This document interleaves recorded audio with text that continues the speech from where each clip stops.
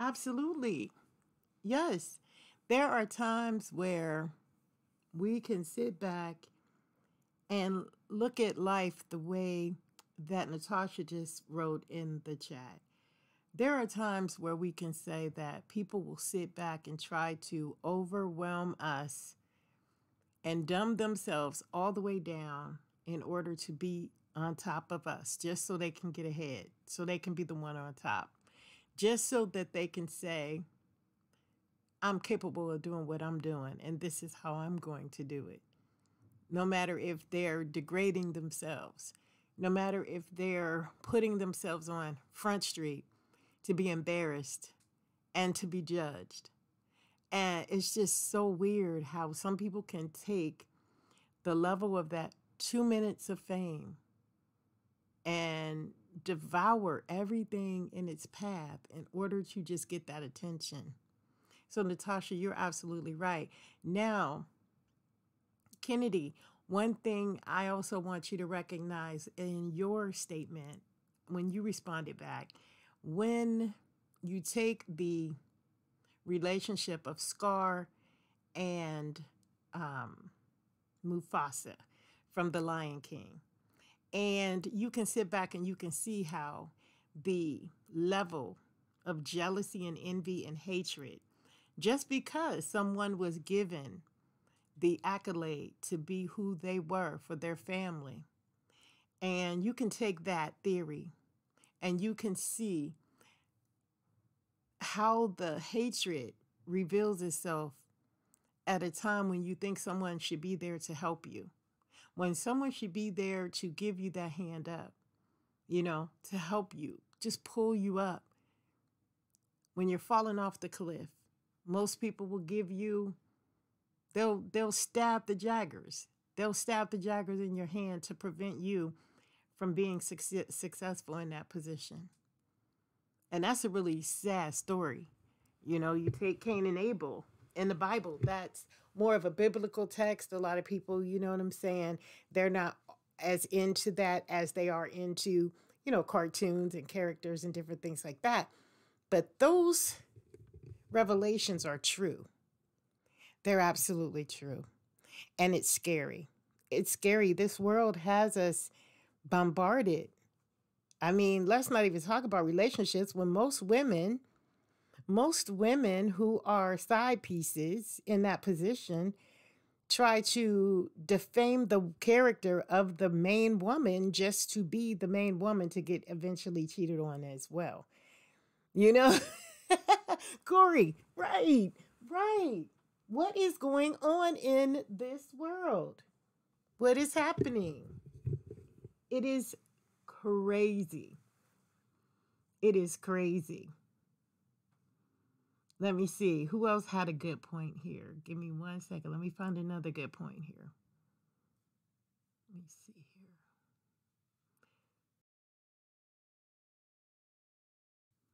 There's going to be times where people are going to just promote you or help you to promote you just to see what it what's taking place.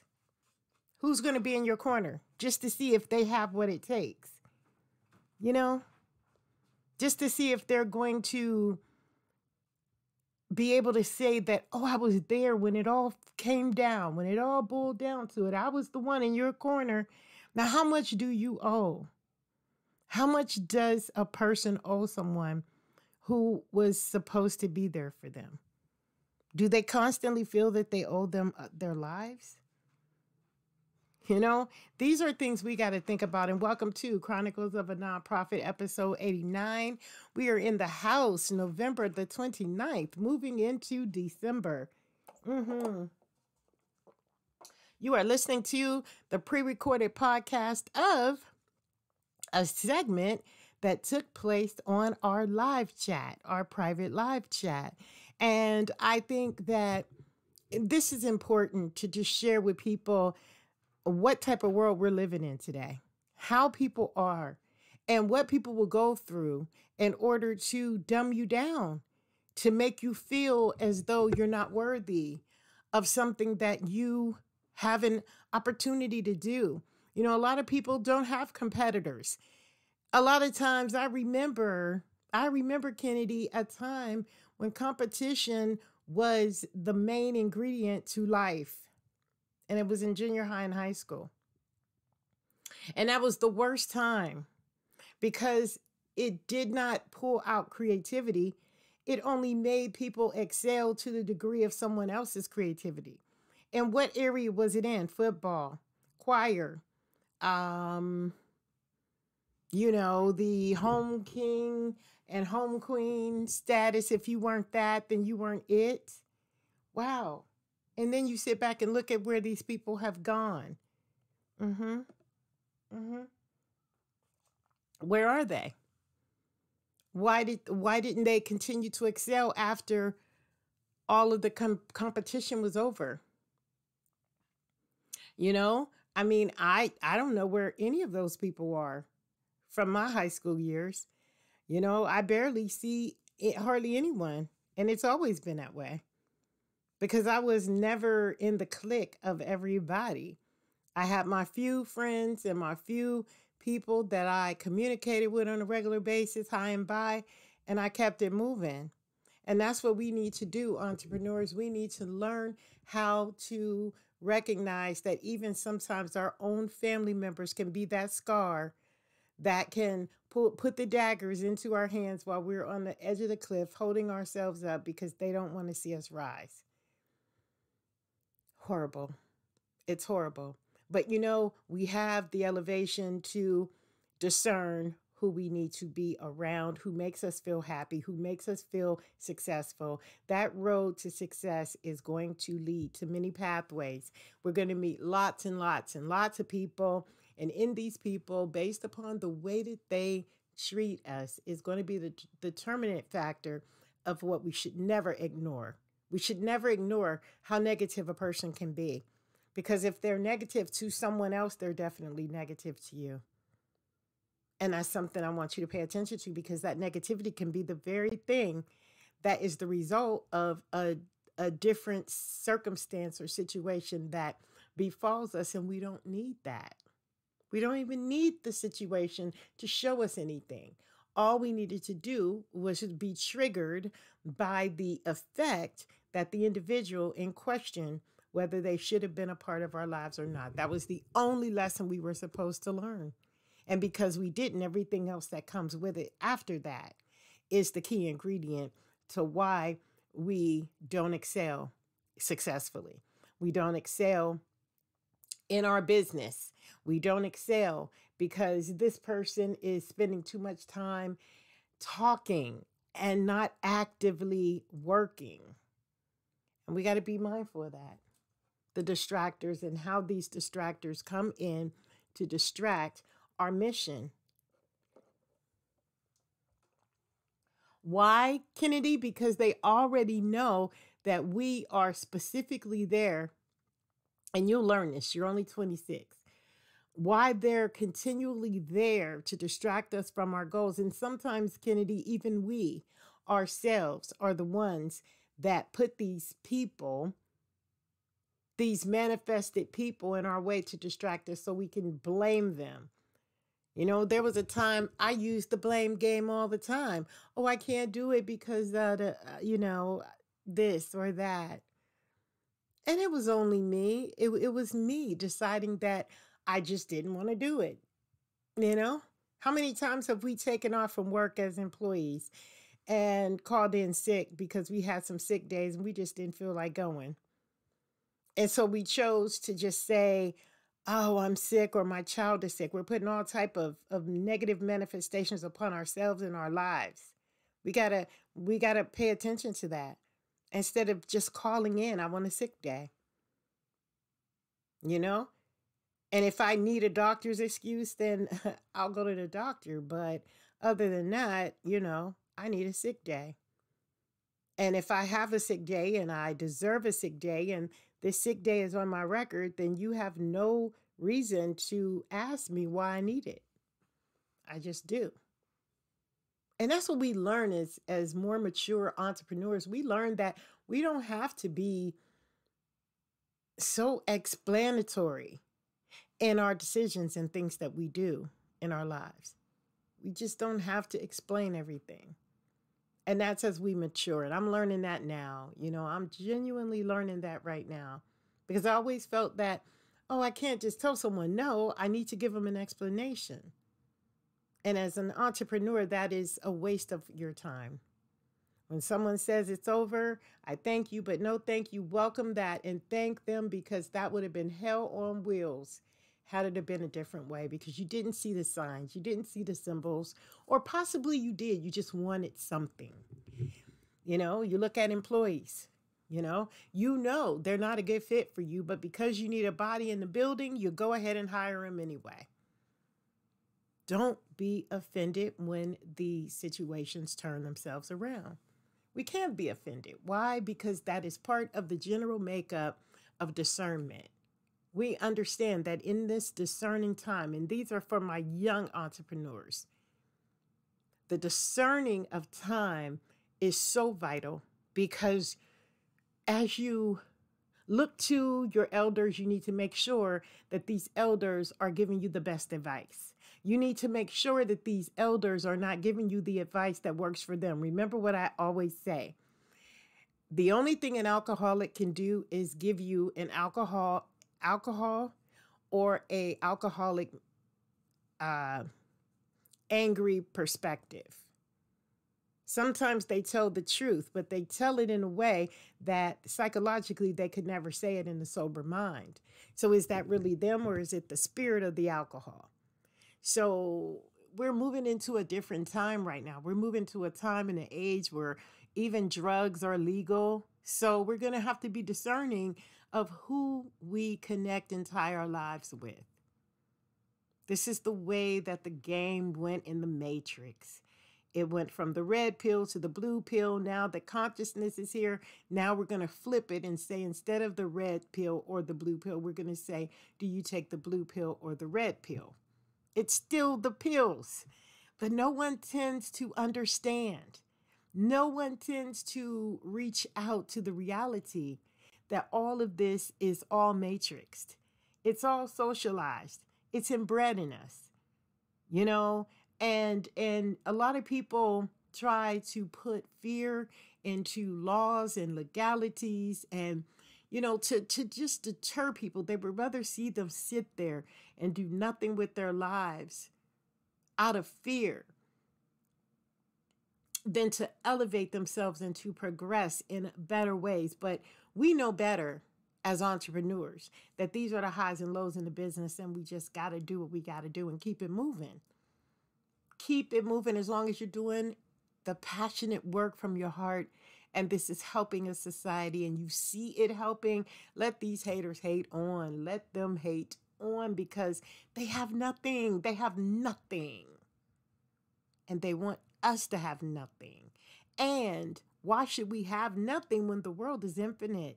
The universe is abundant. It's it's it's flourishing and thriving and everyone is doing what they want to do. They literally are doing what they want to do even if if it is at their lowest perspective. If it is just that they're getting some type of gratification to see someone suffer, they're still getting something and it's a sick way to look at life but if they can do it and and and have all that hate and you know market all this destruction then we as entrepreneurs moving into the the benefit of what we want our future goals and our future uh future to be our future success to be we're allowed to go in it go forward without being fearful especially if we're helping others. And I'm talking about legitimately helping others. And this world has been so conditioned to think, on one hand, oh Lord, it's like the majority of society will believe a lie before they believe the truth, the reality of it. And this is how the game works. But how are we going to maintain this game? How are we going to do it, entrepreneurs? Mm-hmm. Let's get some points out there. Carl, you said it. You said something profound. You said something profound. Believe in you. Just know that you have the capabilities to believe in what it is you desire. And don't worry about the fear. You're absolutely right, Carl. Thank you. Mm-hmm. Dennis is saying, believe in God and just hold true to the fact that no matter what weapons are formed against you, all will be for the benefit of your good. Thank you. Thank you. Mm-hmm. Mark, awesome. Yes. Yes, that's true. People may show you who they are, and sometimes it's too late before you see it. But but we know. We do know. And and we recognize that. And in knowing and recognizing it, we do better. We definitely do better. You know? So that's what I want to talk about today. The the revelation of how far does our discernment protect us? How far do we need to mindfully pay attention to what we should be discerning in our lives before it destructs our lives? If there is a destruction that will take place if we're not paying attention to the discerning factors of things that motivate us that we should be focused on, but we're distracted from. And if we don't get it the first time, we'll definitely get it. And we just got to know how to play this matrix game the way that suits us to where we know that anything can be a law. Anything can be turned and misconstrued into something illegal. Anything. Like I told you, driving down the street at 37 miles an hour is it a trap to even have a vehicle and have speed limits that, you know, that's that close? Because if you're at 37 miles an hour, don't go down in an area where, you know, there's a school zone and you're not doing 20 or under. Now we have surveillance that will ticket your license and that license will get a ticket in the mail. You don't didn't even you you can't even go and test it. You know what I mean? So basically we have to be mindful entrepreneurs of everything.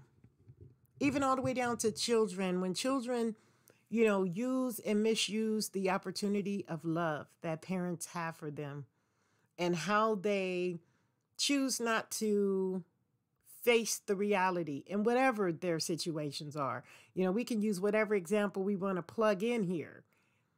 But as entrepreneurs and as leaders of our own our own family structure, we need to hold accountable those people who we have been discerned, children or no. Someone wrote a post the other day on Facebook about I can't see my kids struggle. And I feel so bad for those parents who always say, oh, well, you got to go find another way.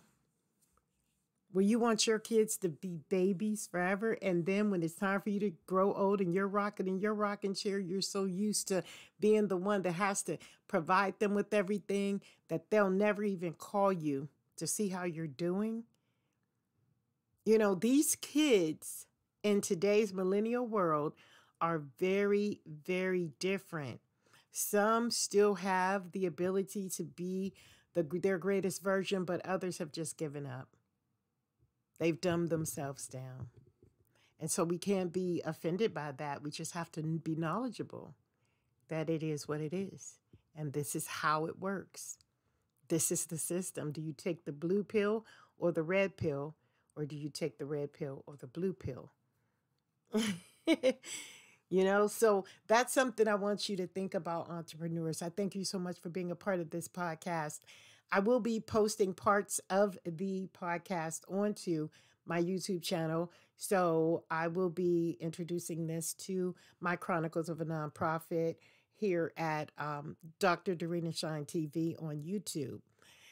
But for now, I want you to just realize that don't allow anyone to shut you down, to shut your mouth from the belief of what you know to be true, because they can sometimes shatter your whole perspective to where you ask yourself the truthful question Is that really true when you knew it was? Is it really green? Is it really raining outside? Or is it sunshiny? like, you got to be so mindful. There's so many tricksters out here and so many reasons for the trick. You know, to get people to just continue to dumb themselves down. And that's not what we need in our community. That's not what we need in our world. We need more vibrant individuals. And then sometimes it's just the location because you go somewhere else, someone's ready and willing for the help, willing for the success, willing for the, the determination to help themselves because it's not normal. They don't hear it a lot. And that's what it is. And don't let everybody know your next moves because guess what? As soon as you go do that, they've already came and tore down the rich soil and put poison in it so no matter how rich it looks, it's going to eventually, once it's turned over, it's going to kill any seeds that's ha- that has been planted. And that's so sad. And so for those who are killing the plants, for those who are killing the seeds before it's even laid down, know this, your time will come. Your time will come and you yourself will feel the energy of what you've put out there. So the power of manifestation is great, it's strong. So entrepreneurs keep believing in you. Keep rocking and walking in the shoes you're rocking. Keep doing it. You know, they need to have rocking rocking shoes. you know, shoes that look like rocking chairs. You could just stop and just I think they do. They they call them hoverboards. So yeah, it's it's it's it's so amazing. Life is genuinely amazing. And these podcasts will be used for my children when they need to sit back and think, did she tell me that? Oh, she told me something, like Lyfe Jennings always says in his song. Uh, I was my grandmother was talking about something about a fisherman, but I wasn't listening that stuck to me because it's like you always listen. That was a discerning conversation that I received from a, a from a song, from someone who had experience. You know, you can talk about something. I'm not even paying attention, but I know it was something about fishermen. And all she was saying is teach a man how to fish, he'll eat forever. But if you continue to give him the fish, he will not eat except for every time you feed him. You know, and that's what I want everyone to understand. And I'm sure we have that mentality because as entrepreneurs, we have to have been taught that. Thank you so much, and we'll see you next time.